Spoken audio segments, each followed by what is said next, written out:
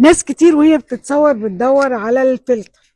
كلنا أغلبنا معظمنا بيدور على فلتر للتصوير.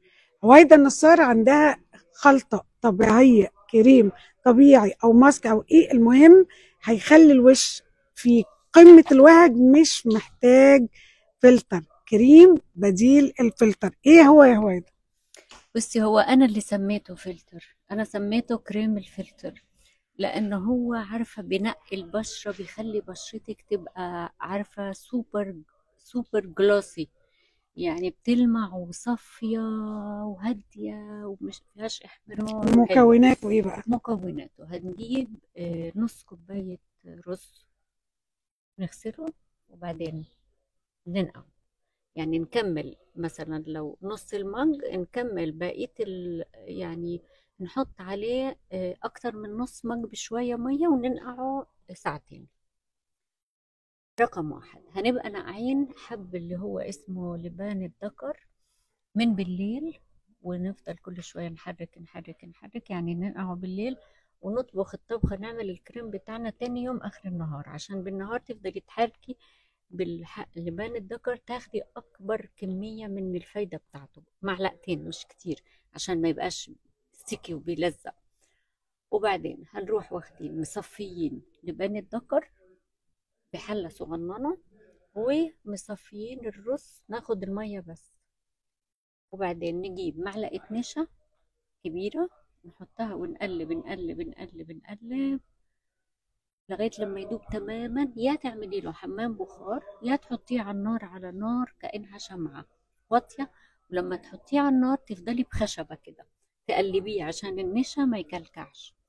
وبعدين تاخدي مثلا ست سبع نقط زيت مية زيت ورد سوري زيت ورد زيت لوز. أنا بحب الورد بحب زيت الورد. زيت ورد زيت لوز زيت أفوكادو وات بس ال- الورد ليه ريحة حلوة. وبعدين تسيبيه يبرد وهتعبيه ببرطمانات. بس طيب الزيوت ممنوعة في الصيف عشان الحر.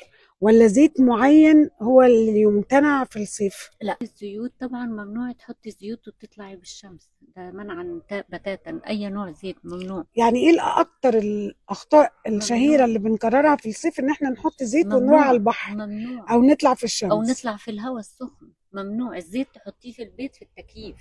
وما تحطيش زيت direct على جلدك في الصيف. تحطي الزيت آه، مع حاجة.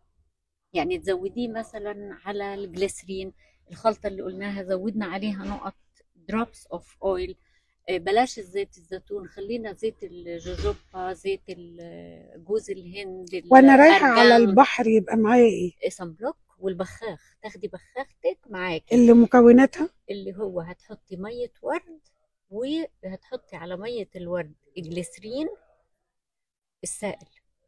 أو هتجيبي آه، الناس اللي بشرتها بتبقى جافة هتاخد آه، بذور الكتان تغليها وتعصرها وتاخد الجل تزوده مية مع جليسرين يترج يترج وتفضلي تبخي على وشك منه.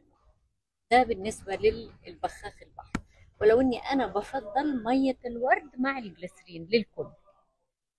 وبعدين لازم الوش تروحي من البحر تاخدي بس حمامك ال- الجليسرين ليه مقدار معين؟ 4% منزل. معلقة يعني معلقة واحدة. اي CC في الحقنة. مم. يعني انت المية معروف اللتر قد إيه إزازة المية اللتر قد إيه وفي الحقنة خدي أرب... آه، أربعة ملي فاهمة؟ وتزوديها ما تزيدش لأنه لو زاد عن كده بيبتدي يعمل التهابات. ودايما على فكرة كل الوصفات اللي أنا قلتها أول حاجة جربيها ورا ودنك. يعني اختبار. يعني مثلا أنا في واحدة صاحبتي عندها حساسية من الجمبري وبتحب الجمبري.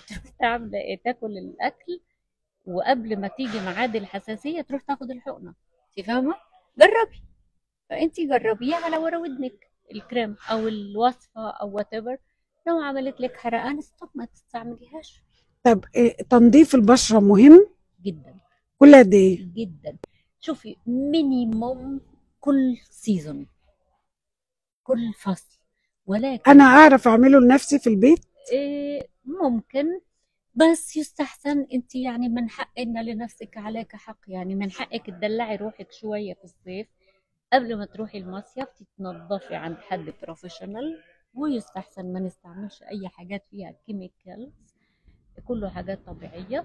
أنا شخصيا حاجتي كلها حاجات طبيعية.